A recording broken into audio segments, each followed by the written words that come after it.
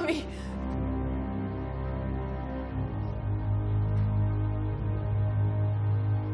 Joey! Joey, thank God you're safe, Joey!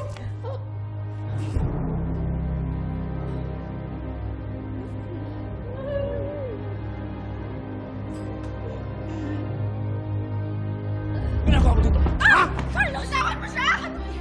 Bakit mo dinala yung baliw na yun dito siya magpapahamak sa atin? Sir, nagligtas sa akin! Bitawan mo siya! Please, mo siya saktan! Ba? Bitawan mo! Ikaw ang papahamak sa amin! Kaya wala kang dapat ginagawa dito!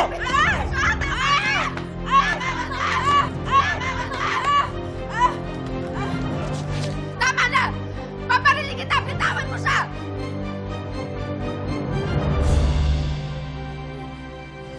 Lucy, maraming salamat po sa pagdalaw kay Tita Gisela.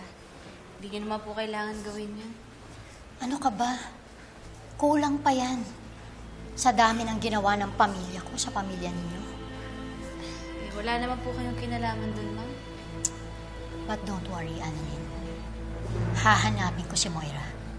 Pagbabayarin ko siya sa lahat ng ginawa niya sa inyo.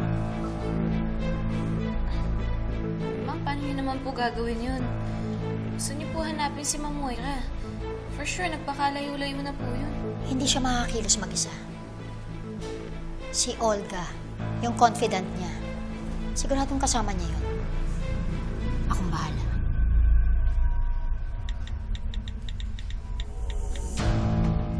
Hello? Madam, Magtatrack mo ba si Olga? yes madam. Gamit niya yung phone na binigay ko sa kanya. Naka-share location siya sa akin. Good. Kapag natrack mo na siya, i-share mo sa akin ang location niya. Dahil sigurado ko nasan yung Olga na yan. Sigurado akong kasama niya si Moira.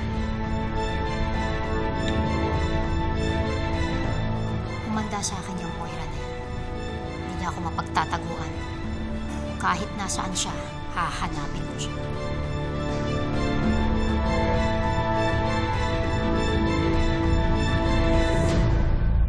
Bitawan mo siya!